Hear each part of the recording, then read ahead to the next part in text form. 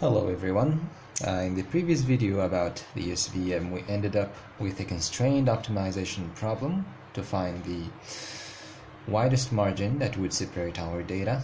So this is was our constrained optimization problem. So we wanted to find the minimum of this function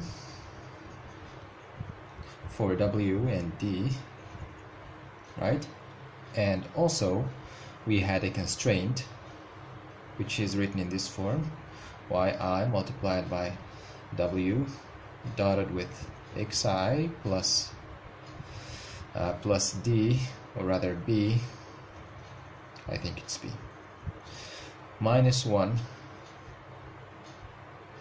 and this should be higher or equal than 0 so this is our constraint. So this minimization problem is subject to this constraint now to understand how to solve that, I decided to make a video about how to solve an optimization or a constrained optimization problem in general and I will particularly talk about how to do that using the Lagrangian technique because there are many other techniques other than Lagrangian to solve constrained optimization problems. And uh, just to tell you as an aside, we decided in SVM we use the Lagrangian because it allows us to use something called the kernel trick, which is a technique used to separate uh, data that is non-linearly separable. Okay, so this is just to understand why we chose the Lagrangian instead of other techniques. Well, anyway, first of all, I want you to see a visual interpretation of what is a constrained optimization problem is say that I have the following function. Say that this is a function of uh, w. And I have a function in this form. So if I want to minimize this now what I can do is just to compute the derivative. I want to compute the derivative of this with respect to w. And you know find the W that satisfies this equation. But this is a non-constrained optimization problem. Now I want to make it constrained, so I want my solutions to be higher or equal than C. So say that this is, for example, a constant C, right? This is C. And I want, now I want to minimize, for W, minimize the function f of W such that W should be higher or equal than C. So in other words, I can write this in this form. I can say W minus C is higher or equal than 0. And this is a function, GW, that represents the constraint.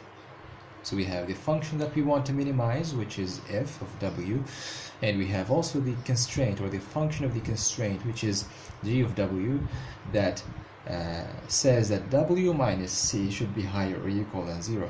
In other words, we want to find our solution only in this interval here, from c to plus infinity. This is another example uh, on two dimensions. Say that I have the same function but on two dimension. That is, I have two variables, w and d, right? Uh, and say that this is, for example, is equal to x squared plus y squared which is the same thing as this curve here but it's on two dimension. So it's a convex uh, two-dimensional function. And I want I want to minimize this. I want to minimize the function f for w and d while taking into account the constraint g of w um, d. So I want I want my say for example my w minus uh, say minus 5 I want this to be equal to 0 right? In other words I want my uh, solutions only on w equal 5 we just bring this 5 here okay this is the constraint let's forget about this thing here you bring 5 here then it means that your constraint is w equal 5 okay So if I have this graph, for example, this is my two-dimensional graph, I will not draw, of course, this function because it's difficult on me to draw. Uh, I just want to show a visual uh, interpretation of this constraint. This is normally should be W, and this is D, and this is my function f. So when I say that I have a constraint like this, w equal to 5, I want to find the solutions only in this direction. Along w equal 5 find the solutions along w equal 5 and ignore everything else this is kind of what we want to do. And as I told you there are many ways to solve that and one way is to use the Lagrangian. And so uh, first of all I will try to, to explain what is the the Lagrangian and what it what is what is its idea.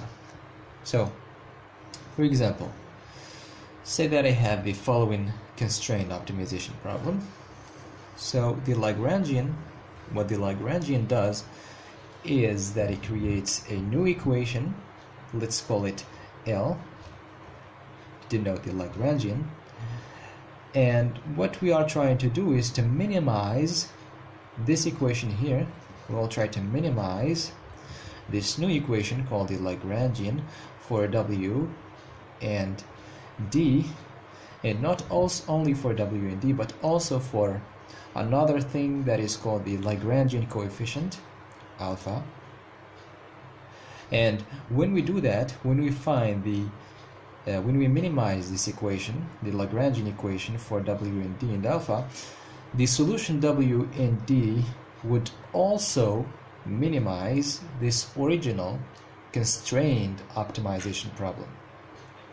In other words what the Lagrangian does is that it transforms a constrained optimization problem into a non-constrained optimization problem which is kind of easier to solve right? So this is the Lagrangian equation. Now what we want to see is to, to see what is this equation. Well this is the Lagrangian equation. If I have only one constraint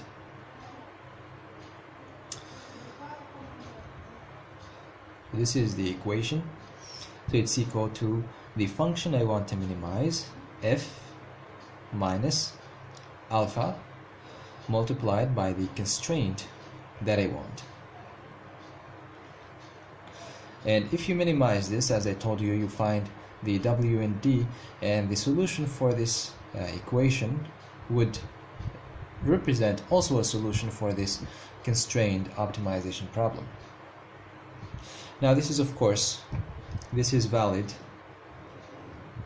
if I have one constraint one constraint and an equality constraint an equality constraint. So as you can see here this is an equality constraint.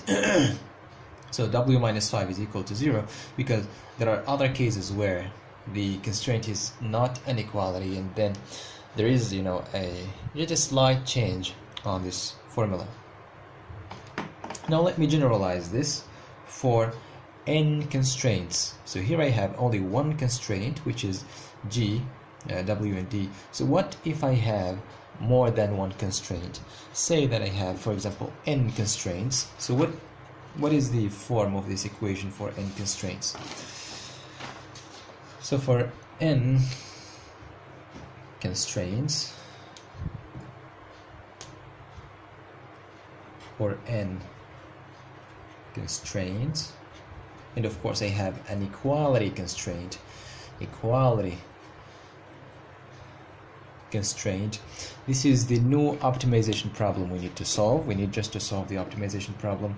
We need to optimize the Lagrangian equation which depends upon W and D and alpha so here I will not use only alpha I will have you know alpha 1 alpha 2 alpha 3 alpha 4 until I reach alpha n because I have n constraints So for each constraint, I have a Lagrangian coefficient. So here, instead of writing alpha, I will write alpha i. And I would say, of course, i starts from 1 up to n, which is the number of constraints. Now this is equal to f minus the summation of the coefficients multiplied by the constraints I have, the eighth constraint. In I start from 1 to n. Now just to make that clear, for example, if I have n equal to 2, in that case, this equation here becomes alpha 1. So here I have alpha 1 and alpha 2 because I have two constraints. And this would be equal to f minus alpha 1 g1 minus alpha 2 g2 okay? And I just minimize try to minimize this equation by taking the gradient of the Lagrangian and making it equal to zero which is nothing but the partial derivative with respect to these variables. Now if you're wondering about uh, this, the meaning of this alpha, the alpha which is the Lagrangian coefficient, this is in fact just a coefficient that relates the gradient of the function we want to optimize with the gradient of the function of our constraint just to tell you what, what is the meaning of this uh, alpha is. And if you want to see uh, to know more uh, details about it, please check. There is an amazing video that uh, Khan Academy made about it. It's very clear. Uh, so just if, in case you are curious about the meaning of this alpha. Okay. Anyway, so this was how to solve the constrained and equality constrained optimization problem for n constraints. Now in the next video I will try to talk about how to do the same thing but for inequality constraint.